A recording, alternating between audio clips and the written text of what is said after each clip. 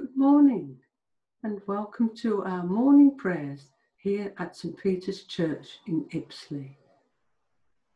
Let us pray. The night has passed and the day lies open before us. Let us pray with one heart and mind.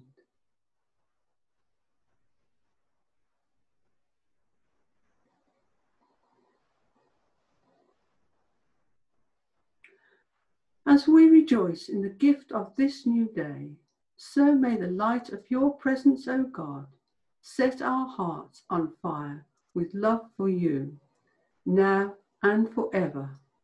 Amen. Our readings today are Psalm 66 and 1 Peter chapter 1, verses 3 to 12. Psalm 66. Shout for joy to God, all the earth. Sing the glory of his name. Make his praise glorious. Say to God, How awesome are your deeds! So great is your power, that your enemies cringe before you. All the earth bows down to you. They sing praise to you. They sing praises of your name. Come and see what God has done how awesome deeds for man, his awesome deeds for mankind. He turned the sea into dry land. They passed through the waters on foot. Come, let us rejoice in him. He rules forever by his power. His eyes watch the nations. Let not the rebellious rise up against him. Praise our God, all peoples. Let the sound of his praise be heard. He has preserved our lives and kept our feet from slipping. For you, God, tested us. You refined us like silver. You brought us into prison and laid burdens on our backs. You let people ride over our heads. We went through fire and water, but you brought us to a place of abundance. I will come to your temple with burnt offerings and fulfill my vows to you. Vows my lips promised and my mouth spoke when I was in trouble. I will sacrifice fat animals to you and an offering of rams. I will offer bulls and goats. Come and hear, all you who fear God. Let me tell you what he has done for me I cried out to him with my mouth. His praise was on my tongue. If I had cherished sin in my heart, the Lord would not have listened. But God has surely listened and has heard my prayer. Praise be to God, who has not rejected my prayer or withheld his love from me. Glory be to the Father and to the Son, and to the Holy Spirit, as it was in the beginning, is now, and shall be forever. Amen. The theme of this psalm is that God answers prayer. Individually and as a body of believers, we should praise and worship God the psalmist understood that God was not only God over Israel, but the whole world.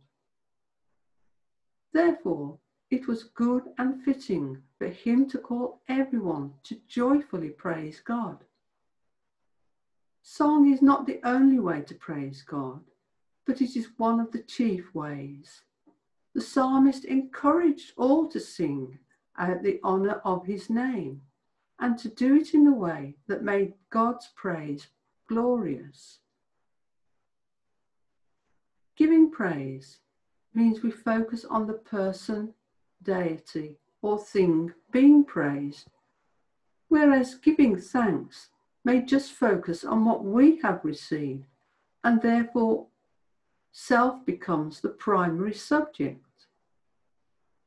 The psalmist gives practical guidance for those who want to praise God, telling them specifically what to say.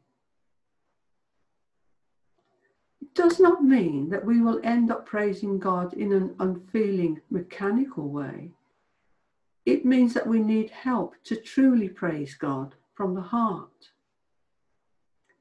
We could begin to praise God by thank, thinking upon the greatness of his work in creation, salvation, and restoration. Verse 3 says, Say to God, How awesome are your deeds! So great is your power that your enemies cringe before you. This awesome and powerful God has enemies, but through his great power, they will be conquered and brought to submit themselves to God, and he may be praised in recognition of his ultimate triumph over all the earth, and in his worthiness to receive the worship and praises they rightly bring to him. Verse 5 says, Come and see what God has done. Here the psalmist has turned the Holy Scriptures and remembered how God showed his power in bringing Israel through the Red Sea. God saved the Israelites then, and he continues to save his people today. The psalmist called all the earth to observe the great works of God and give him praise. Just as fire refines silver in the smelting process, trials refine our character. God blesses his people, but sometimes the blessing is in a difficult testing. These times of trial and testing bring us a new and deeper wisdom, helping discern truth from falsehood and giving us the discipline to do what we know is right. Many people wonder why we want to praise God, given some of the difficulties we face. But as we continue to put our trust into God, He will deliver us from difficulties.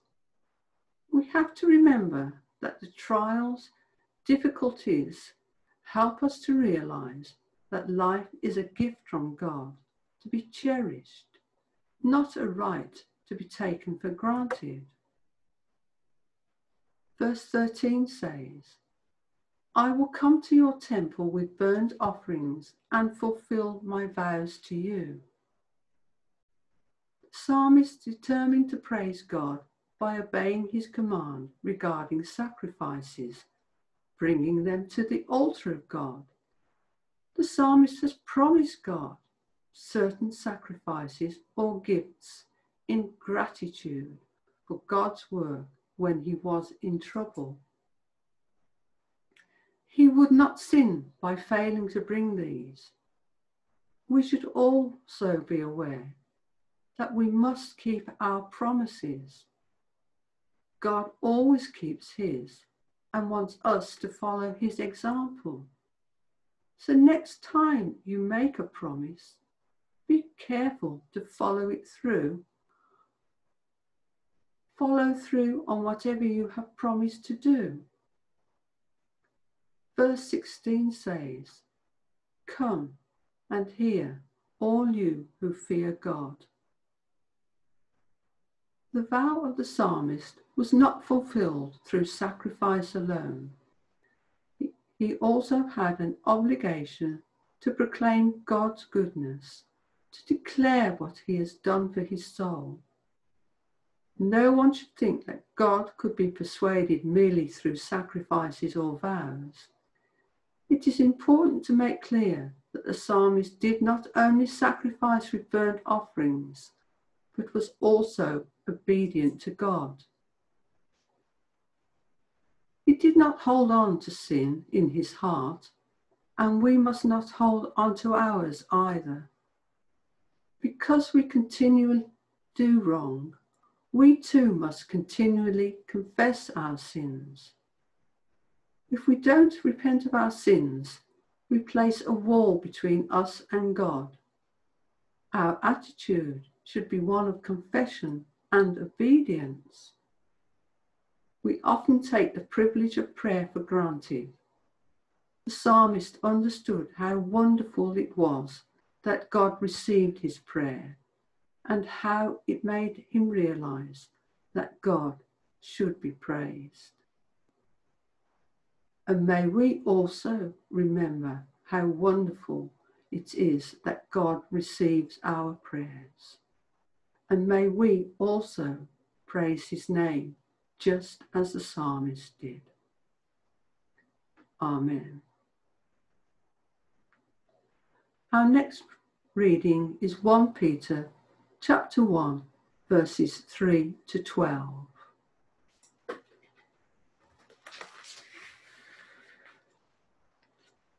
Praise to God for a living hope. Praise be to the God and Father of our Lord Jesus Christ.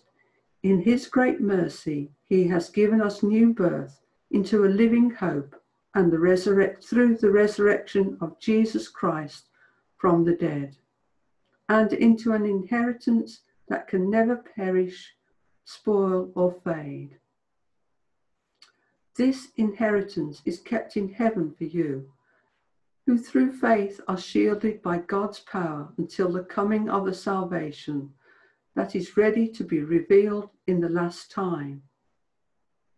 In all this you greatly rejoice, though now for a little while you may have to suffer grief in all kinds of trials.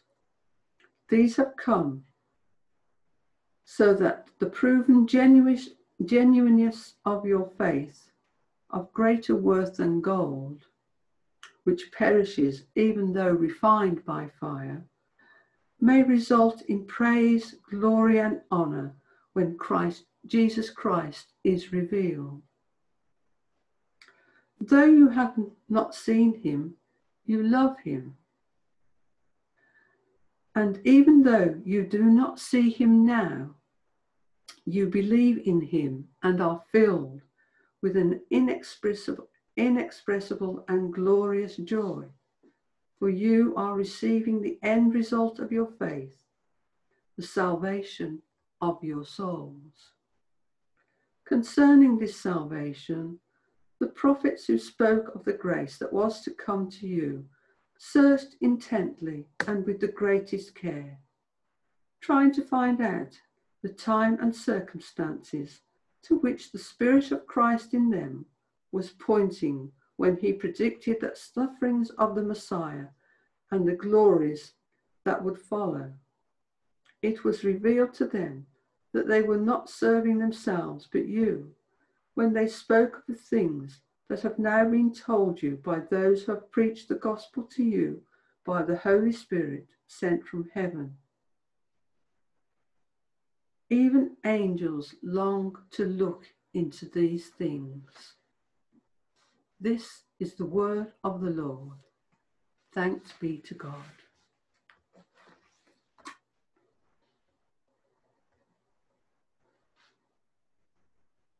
What holds you up through the storms of life? We all need an anchor, and that anchor is our faith. Where do we find faith strong enough to make it through the storms of life? Peter knows how important faith is, and he gives us a great picture of faith a faith that we can anchor deep within, and a faith which will hold us during the storms of life. When Peter wrote this letter, things were changing. Whereas at the beginning of the first century, the government remain, remained unconcerned about this new religious sect. Now, as the church grew, the constrictions of the government increased. Many first century followers of Christ were suffering, being abused and persecuted for believing in and obeying Jesus. Peter is writing to a people who are finding it increasingly difficult to live their faith. Even today, it is not easy being a Christian, but we must find a way to live our faith without compromise. The question is not if we have faith, Everyone has some kind of faith. Even the atheist has faith in thinking that his rational reasoning and intellectual ability has removed the possibility of God. Others have faith in their own abilities, skills, connections, friends, family, and themselves. Everyone has faith. The question is, where is your faith anchored? Sooner or later, the storms of life will begin to blow, and the question becomes will the anchor of faith hold? If your faith is set upon the things of this world, then our faith will perish. Only the kingdom of God has remained constant in the past 2,000 years. Our faith is to be set in heaven and not on the things of this world. That is the only way that we know our faith is imperishable. Peter talks about how we love Christ even though we have not seen him. He heard the word Jesus spoke to Thomas in John chapter 20, verse 29. Because you have seen me, you have believed. Blessed are those who have not seen and have believed. In Hebrews chapter 11, verse 1, we have the definition of faith. Now, faith is confidence in what we hope for and assurance about what we do not see. Peter had a faith in Christ that was timeless. His faith was valuable, revealing, and full of love. Peter explains that the prophets of the Old Testament put their faith in God when God spoke to them and told them that he was the, that the Messiah was coming. He gave them a hope that the one who could deliver them was on the way. It's a message of hope and encouragement. It is a promise. This is the message of the Old Testament prophets. Peter points out that the true faith is not only tied to the prophets, but also the fulfillment of those prophecies. Our faith is built upon Jesus. We believe that he is the Messiah the embodiment of the Old Testament prophecies. We believe that he died on a cross for our sins and that he rose again. We believe that he is coming back. It is not a question of if you have a faith. Is your anchor of faith a true anchor? Is your faith built upon the truth of Scripture. Do you know how valuable, revealing, and full of love a faith in Christ is? It is not a question of if the storms of life will come. It is a, the question will your anchor of faith hold through the storms? The time to anchor your hope and faith to Christ is now, before the storms show up. Amen. Let us pray. Heavenly Father, we praise and thank you for the wonderful work of your hand and the awesome deeds that you have done for us. Thank you that Jesus came to redeem us and to die for us, so that we can be raised into newness of life and live with you in the eternal ages to come. How awesome are your works, and how great is your power! All the earth will worship you and sing praises to your holy name, for you alone are worthy of honour and thanksgiving, our worship and praise. In Jesus' name we pray. Amen. We pray for our church. Strengthen John and Martin, our bishops, and all your church in the service of Christ, that those who confess your name may be united in your truth, live together in your love, and reveal your glory in the world. We pray for our clergy here in this parish, Garth, Ian, and all our lay ministers and church wardens. We pray that they would love Jesus with all their heart, soul, and mind. We pray that your Holy Spirit would lead and guide them in all the duties that they are called upon to do. We pray that their teaching and their preaching will be accurate, true, bold, convicting, encouraging, anointed, and Christ centered.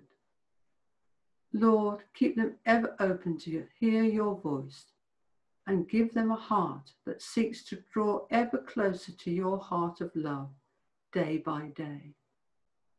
We give thanks for the pastoral care they have shown each one of us during the continuing COVID 19 pandemic.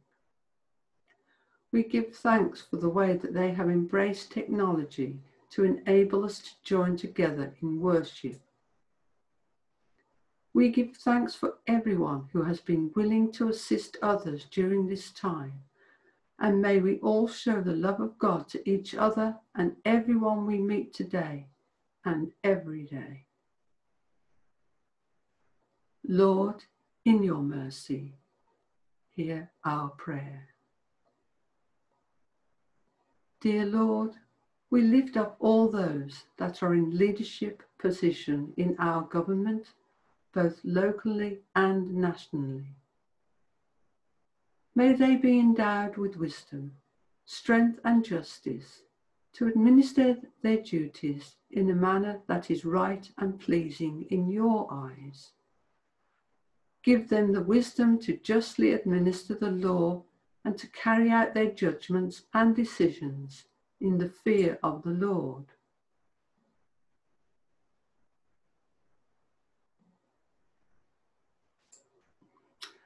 May they be wise in their decision making, courageous in their rethinking and creativity.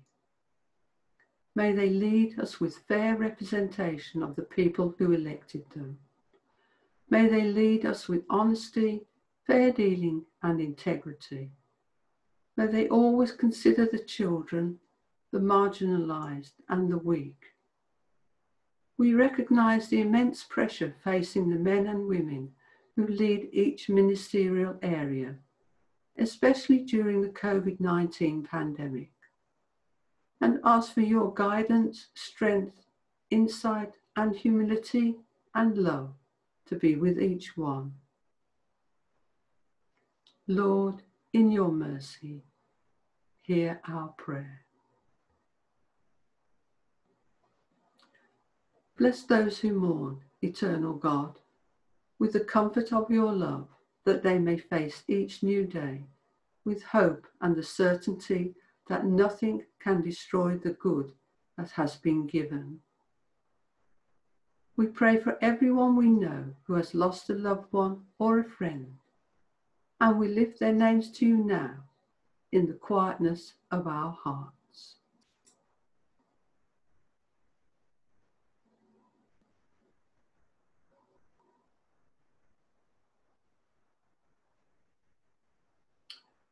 You are close to the broken-hearted. Be with them in their grief and loneliness. Be with them as they face their loss Ease the hurt in their hearts and encircle them with your love to give them strength to face the day. We ask that they will feel your love surrounding them and upholding them in their sadness. May their memories become joyful, their days enriched with friendship, and their lives encircled by your love. Lord, in your mercy, hear our prayer. We pray for all who are sick, especially those personally known to us, as we lift their names to you now in the quietness of our hearts.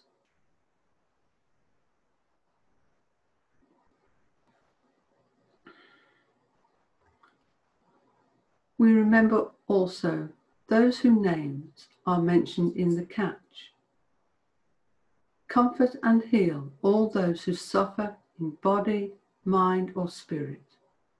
Give them courage and hope in their troubles, and bring them the joy of your salvation.